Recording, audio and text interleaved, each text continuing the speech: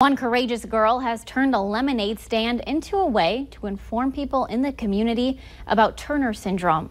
Ellie is seven years old and was diagnosed with Turner syndrome at birth.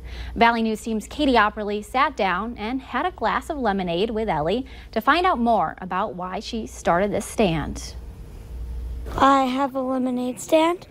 But this is no ordinary lemonade stand. Yeah, I'll take one too, Ellie. Ellie Beckerus is selling lemonade and donating every penny to a cause very close to her heart. They were just doing it to, to raise money for the Turner Syndrome Society in Minnesota. Ellie has Turner syndrome. She decided she wanted to give back to the cause. Ellie came up with the vision of giving back to the Minnesota Turner Syndrome Society. Um, it's something that touches our heart. We're very close with the Turner Syndrome Foundation as she was diagnosed at birth. And last year when we did it, we raised $500. While she serves up lemonade, posters hang around her stand with facts about the syndrome.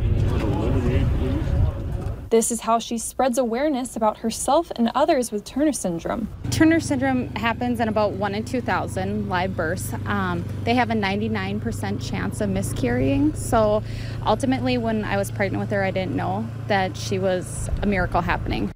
Ellie's mom says she's faced a lot of battles, but each time she overcomes them with a smile on her face. She takes battles as they come, and just like this, this was her project, and she took it down like a champ.